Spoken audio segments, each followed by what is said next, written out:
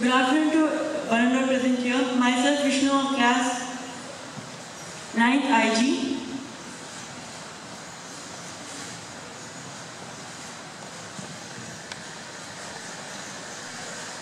My topic for the day is how we look is no is unimportant. It is who we are. Looks doesn't matter. Uh, it matters how you are. Like it doesn't matter whether you do haircut like mom or something. It's like uh, who you are. If you're a good person, uh, that's it is required for who you are.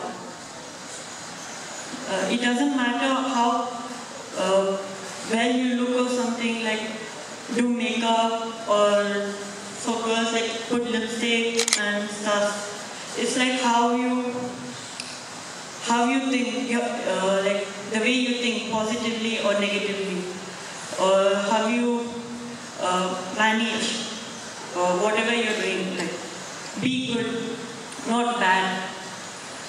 Um,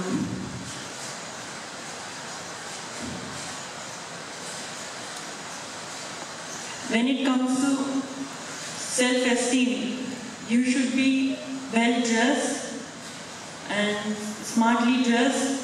All, uh, all your hair and tie is like properly fit and um, yeah, thank you.